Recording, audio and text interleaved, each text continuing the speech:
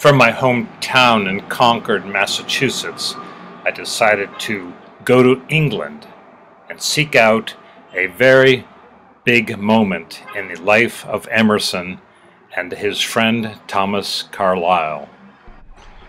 Well, it was actually Scotland in Dumfriesshire where I went by train from London and looked at the countryside as I thought about what I was going to do. I had no idea.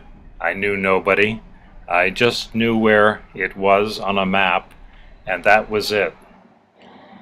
In 1833, when Emerson arrived in Scotland, he had a letter of introduction to Thomas Carlyle from his brother who had been in Rome.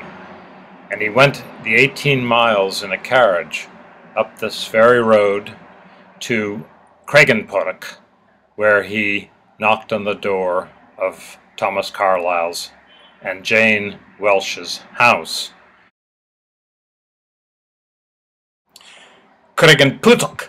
Ah, yes, well, I spent some time looking at the estate and thinking about Emerson and Carlyle meeting at this juncture in their lives when they're early 30s and Carlyle insisted that Emerson spend the night and the next day they took a walk or that evening they took a walk to the top of this hill.